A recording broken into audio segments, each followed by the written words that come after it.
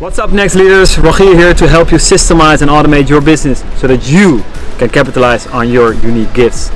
You guys asked me, Roger, how is Leadpages comparing itself to WordPress with, for example, the system Elementor? Well, let me tell you today what system is the right choice for you in this phase you're in right now. You will find out in this video.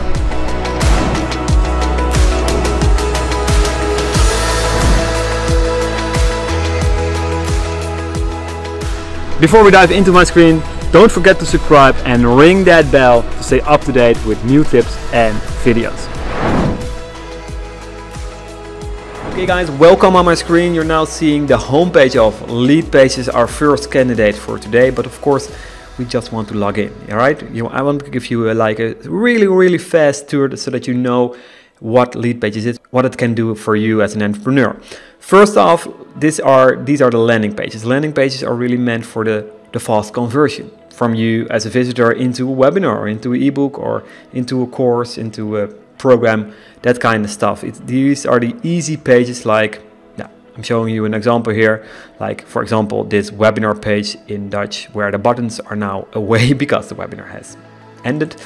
Um, really easy to set up pages and also easy is that you immediately get some ideas on how the page is performing. You see the visitors, you see the conversions, and you see the conversion rate. That's pretty high, right? Also, what you can do here is create new split tests. So you can send 50% of the traffic to page 1, 50% of the uh, traffic to page B.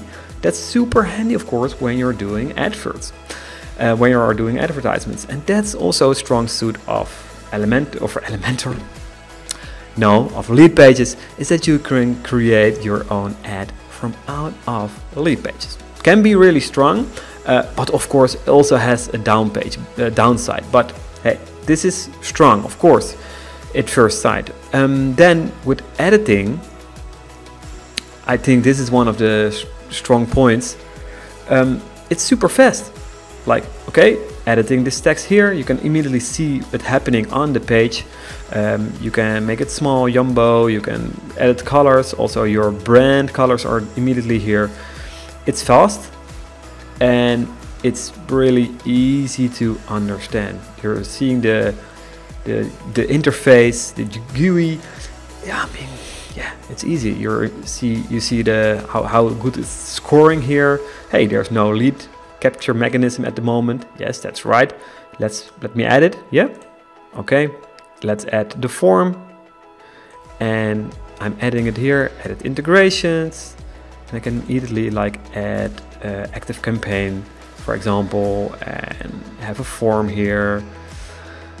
Yeah, I, I like that, that part of Leadpages a lot. It's that easy to create some super, super fast landing pages.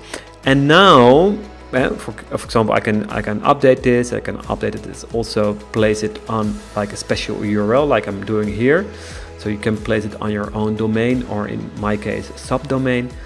Um, makes it easy, makes it fast, and that's what I like the most of lead pages And that's something else I wanted to show you. It's a it's a new thing in lead pages I think six months old now. It's called Sites and that's where I see a big potential coming. I mean, first it was just a landing page tool, um, and that's strong, of course. But yeah, you have all these Elementor landing pages or Divi landing pages that are also pretty fast. But now it's also competing on site level. Uh, let me show you. Um, I'm able to create a new site, so I'm, I'm able to pick a template here. Can view, I can see how it works on mobile. And when I press use this template, I'm able to immediately set up the site uh, test for this video. And whoppa, voila, I'm here. I can edit the navigation. I can edit the site. And seriously, this can be up in, in hours instead of hours or days or sometimes months with bigger builders like Elementor. And I'm a big fan of Elementor, but that can be a downside. So this is a real upside of Leadpages. It's it's super fast and yeah, that makes it my software of choice for beginners that want to launch soon, don't have that real yeah all these options they want like a, maybe a blog or maybe a web shop or those kind of stuff they just want an easy like business card type of website that's just works that just works. Then lead pages can be one of the fastest ways of launching such a website with of course also the landing pages. So yeah I'm, i do not want to take too much time for it. If you want to watch more i will create uh, future videos videos about with a full review of lead pages. but this makes it my top choice for like i said the real beginners or the beginners or the guys that said just i, I want minimalism. I don't want a, bl a blog. I i don't want a web shop. Make it easy for me. One fee a month and i'm done. It no updates no software updates. One company to talk to. Yeah no plugins, no installations, easy, easy going. How many times did I say easy and fast? Hmm. Perhaps let me know here down into the comments. This is, for me, a Leadpages. Okay, over to candidate 2 of today, that's Elementor and Elementor is a WordPress plugin, so that's why I'm comparing lead pages to WordPress. And to be fair, I mean, I'm installing a builder like Elementor because otherwise I would definitely go for lead pages without such a tool as a builder, uh, Elementor or Divi or maybe Beaver Builder. I would definitely go for lead pages because that makes your life so much easier. So comparing those two, I would not able to do that without like a builder like yeah, like I'm saying, like Elementor. That said, let me log into the dashboard. This is the dashboard like you're logging in when you're seeing your WordPress website. Maybe you're, it, it, it looks familiar. And immediately, I just wanted to give you a brief difference between the, the landing page of or the dashboard of lead pages. This is minimalism at work. And I would say, and this is ooh, a little bit more overwhelmed. Same maybe for the builder. Simple, a little bit less simple. Still simple, but a little bit less simple. Okay, what cool is, is uh, what cool about Elementor is this. You can really use your own templates. That makes it pretty fast. And you can also insert templates into a current website. Because I was now editing a page and now you can insert other elements, other pages, other full websites that you can test out here and you can immediately insert those into your current page like I'm now looking at it. I'm seeing the, the header, my navigation and the footer. But uh, because but if I want to only have like a landing page I can say hey page layout just use the canvas only. So then I have like a real landing page and you see a blank screen.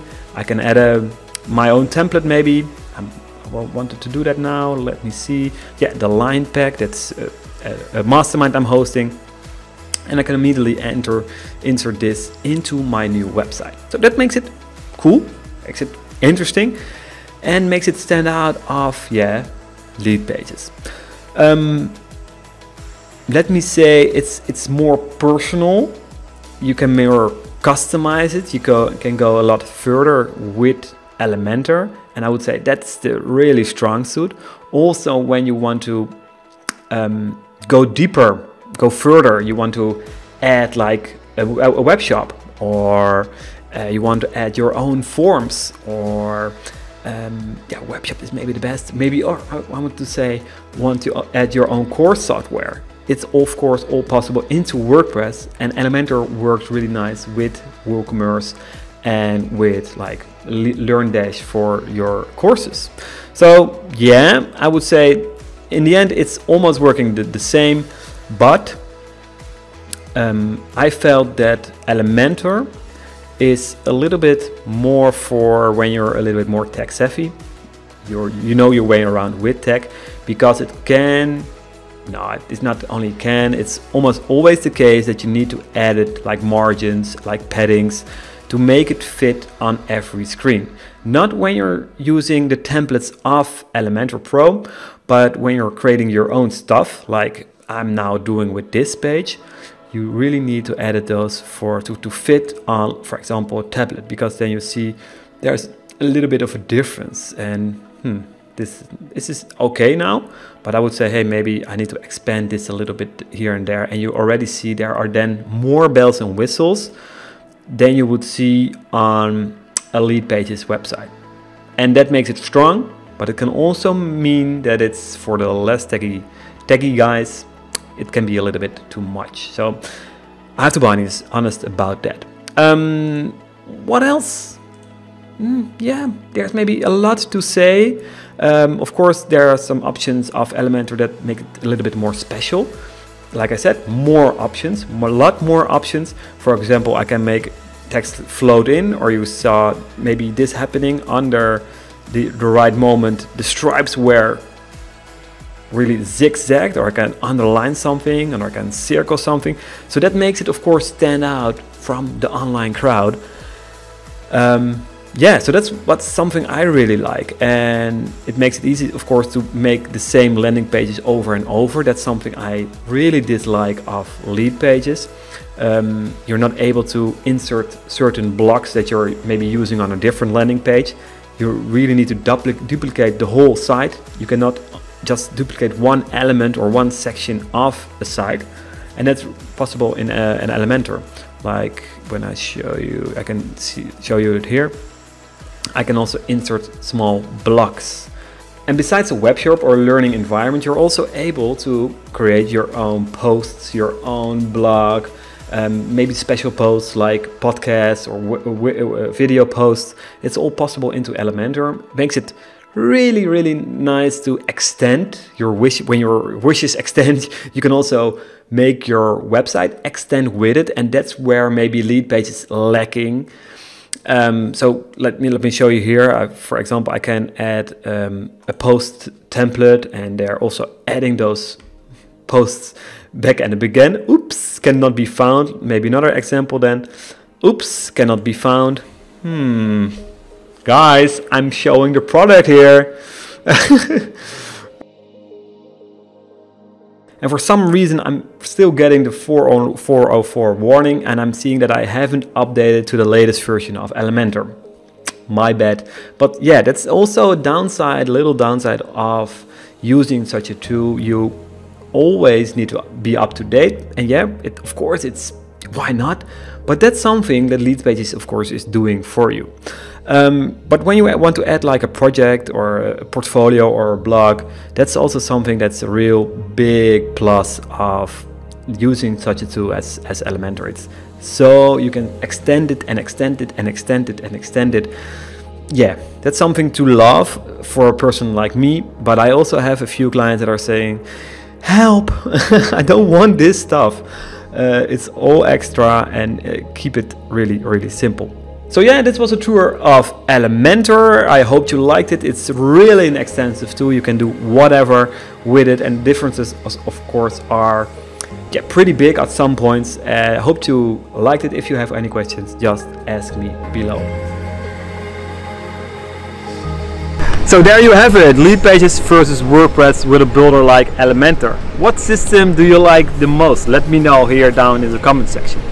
I actually use both uh, lead pages more for my lead pages or my how to say it? Opt-in pages and webinar pages the pages that I also promote uh, by advertising and Elementor for my website. But that's uh, my, that's my choice so I, I'm really curious what you think.